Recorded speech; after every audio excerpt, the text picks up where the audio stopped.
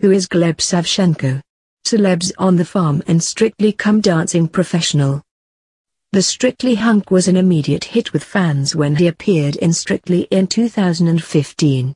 And now he's back on British screens. Here's all we know about the Russian professional dancer. The Strictly hunk was an immediate hit with fans when he appeared in Strictly in 2015. And now he's back on British screens. Here's all we know about the Russian professional dancer.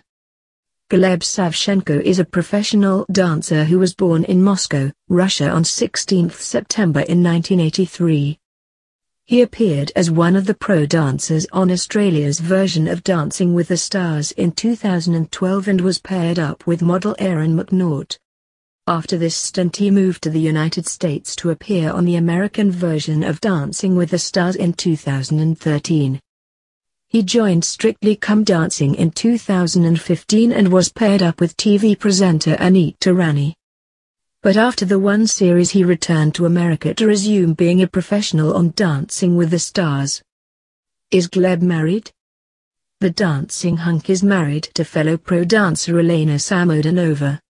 The couple share two daughters together, Olivia and Zlata. Gleb, Elena and their daughters live in Los Angeles where they balance TV commitments with running a children's dance studio.